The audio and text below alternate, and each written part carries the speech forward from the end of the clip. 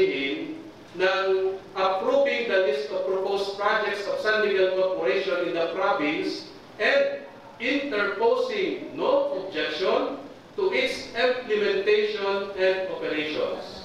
Dumalo tayo sa isang information hour na patawag ng Sangguniang Panlalawigan ng Quezon tungkol sa pinasa natin na position paper bilang pagpuna doon sa ipinasa nilang Sangguniang Panlalawigan Resolution na nagbibigay ng pagsuporta at ah, walang pagtutol doon sa mga listahan ng iba't ibang proyekto na itatayo ng San Miguel Corporation dito sa lalawigan ng Quezon, particular sa bayan ng Sariaya at Pagbilao.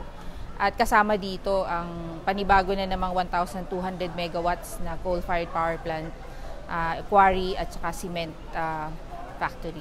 Ang pangunahing kino-question doon ay bakit parang package deal na yung ginawa nilang ah, pagsuporta doon sa inihahayag, sa binigay na listahan ng mga proyekto.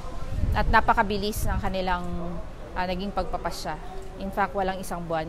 Muli na naman na gusto nilang dagdagan ang napakarami ng coal-fired power plant dito. Nilalabanan natin at sinisikap na hindi talaga matuloy yung nasa Atimonan na magiging proyekto ng Meralco na 1,200 megawatts. At eto na naman, no, meron na naman silang gustong itayo. Sobrang dami na ng planta doon sa Pagbilao. Sabi nga nung isang taga roon na nakausap natin kanina, gusto na talaga nila kaming patayin dahil kabi-kabila na yung itatayong planta. Ang laban ay nasa ano, nasa mga municipalities, mga barangays na pagtatayuan ng mga proyektong ito. Yun yung kasunod nating ah, pagtutuunan ng pansin, ano, ang ah, pakikipag-usap sa mga sangguniang bayan, sa mga sangguniang barangay ng mga ah, lugar kung saan itatayo itong mga proyektong ito ng San Miguel Corporation. Ang simbahan ay hindi tutol sa kaunlaran. Gusto natin 'yan ano para sa mga mamamayan ano.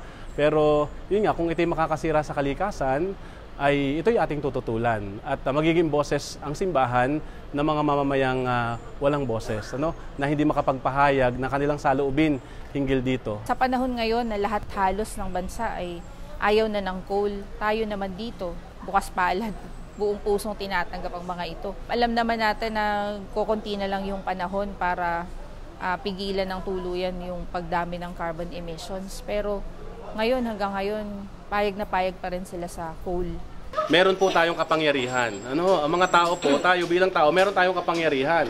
Ano, ah, pwede tayong ah, pwede nating sabihan yung ating mga kabarangay, yung mga namumuno sa barangay na 'yan na hindi kasi pera nga yan eh. Ma- malaking kalaban po talaga ang pera.